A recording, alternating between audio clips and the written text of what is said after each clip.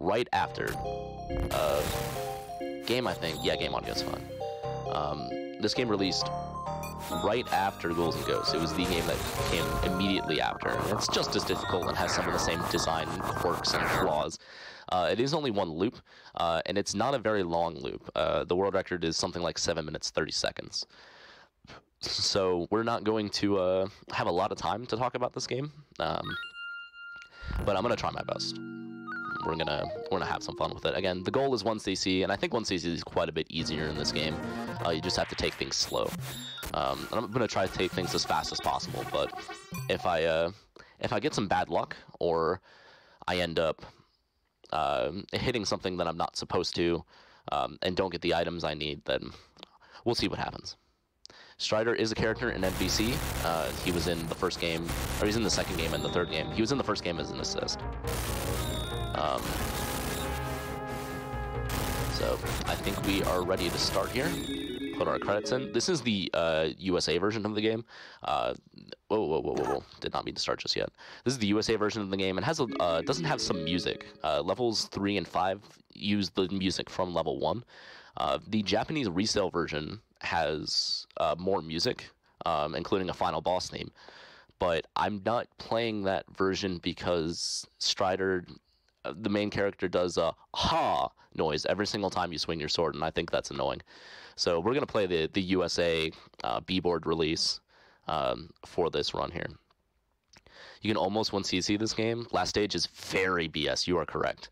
Um, usually that's where I die for the first time and lose no miss. So we're gonna see what happens here. We're gonna start in three, two. The ha is funny. Three, two, one, go. This is the first level, Russia. Um, thing you need to know is that sliding is the fastest method of movement in this game, uh, but you don't do it all the time because it's limited by your terrain, and there's a lot of like climbing into vertical sections. So. First thing we want is, yep, that guy has an item box. This item box will always spawn an option. Uh, Ouroboros, I call them options. You want both of these guys to have item boxes because uh, they one of them will have an option, one of them will have health. Uh, you want two options. Uh, that's usually what I try to go for. Uh, actually got really good luck. Um, so now we have both options, which means we're guaranteed maximum damage in most settings. Um, and we have four bars of health. Very, very useful. I messed up a little bit there. Uh, this is the only boss in the game that has a timer for his hits. Uh, so you can only defeat him in about that length of time. Sometimes you can skip it, but usually no. This is the first boss. This first boss, the faster you kill him, the faster his death animation is. Um, unfortunately, didn't go that fast there. But a 113 first level is pretty good. Yeah, you have a lot of bot buddies in this game. We're not going to see a couple of them because I intentionally don't get them. Um, but there are, you can do other things with the bots. This is Gorilla, takes it takes so much less time with two options than one. Um, the TAS, uh, the only reason you get options is because you're not a TAS level masher, which no one is. You can't hit uh, 30 inputs a second um, as a human being. Um, but theoretically, you can get maximum damage with just the sword, but uh, Ouroboros just does that for you. So that's why we, we get Ouroboros. Uh, this guy, he's a recurring character. I just call him Missile Man. I don't have, I don't remember his actual name. Um, it's something edgy and weird. Um, but he's very, very difficult to kill, especially if you don't have options, because he dodges all your strikes. He doesn't dodge options very well, but he'll shoot those missiles um, and generally just be a nuisance. This missile section is almost an auto-scroller, but you have to grab onto these ships as fast as possible to go as fast as possible, so it's almost not an auto-scroller. Um, can't get hit by these missiles. If your ship is high enough off the ground, uh, you can you can get hit and then start hanging off the ship, and if you press down, uh, you die. Um, and the fastest way to slash in this game is to press B while pressing down. It's kind of like Ninja Gaiden or not really like Ninja Gaiden, but it's the same-ish input. Um, okay. Try not to get hit there. Yeah, then it'll start just throwing a barrage of missiles at you. Okay. That gunship is a lot harder to deal with if you don't have Ouroboros. So that's second boss down. Pretty easy. NES Strider is a, a quote-unquote thing of beauty. It's a much different game from this game, developed by different people. This is level 3. Again, you see this is the uh, the first level's music being reused because they didn't have the music done for these levels yet. Uh, I forgot how to do this. No, I just I didn't get the timing right. Um, not getting the timing right. Not getting the timing right. Okay. if you don't get the timing exactly right there, it can be uh, a little finicky uh, what what happens, but we were able to get through it. It doesn't really matter as long as you get on the platforms right. It, it doesn't like mess up timing or no enemies come and attack you.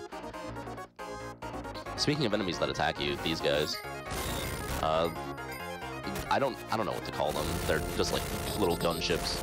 Uh, they'll disappear once you get a game over, but of course we're gonna try and not get a game over. Um, oh god. We're gonna try our best not to get a game over. we should be just fine. Yeah. The timing in this game is a little bizarre sometimes, so getting what I just got there was... Okay, back to sorry. Alrighty.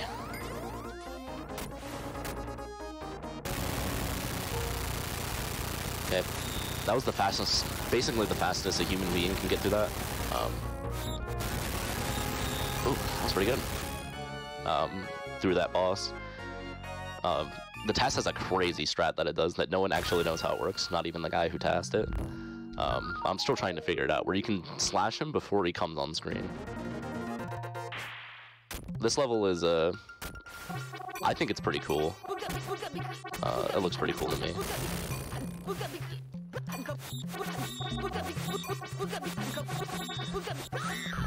Uh, it's got dinosaurs. Uh, it's pretty nice. It's pretty easy though. If you don't have options, this level is much, much more difficult because these Velociraptors will hit you almost every time. At least two or three times. Um, just like that. Because your sword doesn't cover above you, or above you, below you, or behind you, just in front of you. And Ouroboros also just shreds that guy. We're in the final level. Uh, this is where things usually go to die. We're gonna try our best. Um,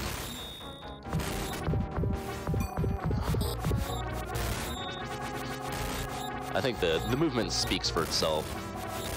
Um, trying to avoid everything as best I can. Make sure my options hit these guys in the right places. Oh god. Okay. I usually don't get hit there. Oh, oh no, okay. I didn't jump at the right time. So, my timing was a little early there the whole time. Uh, we can still 1cc this though. It's not going to be a no miss, but 1cc should be very possible.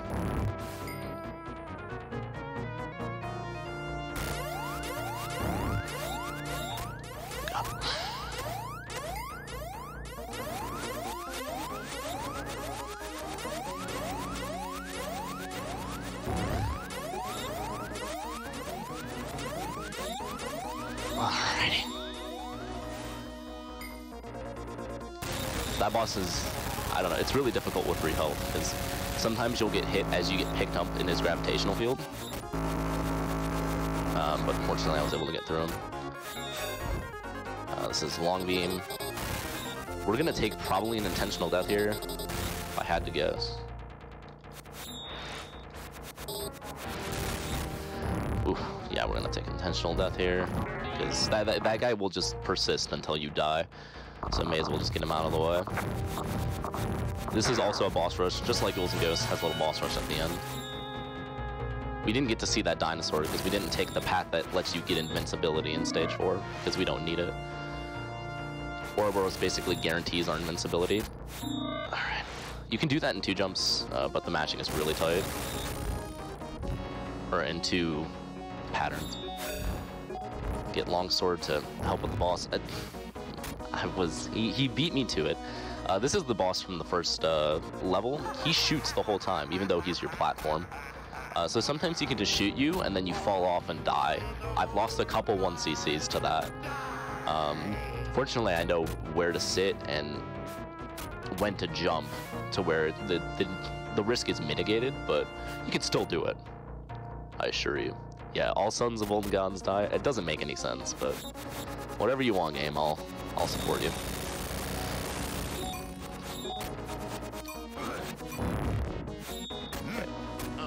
No. no.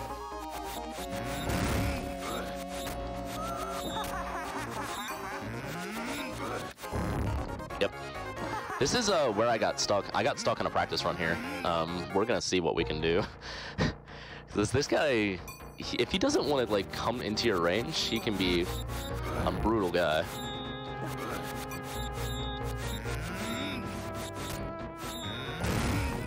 Oh, yep. Oh man, yeah, he's he's he's trolling me. We're gonna try one CC. We're gonna do it.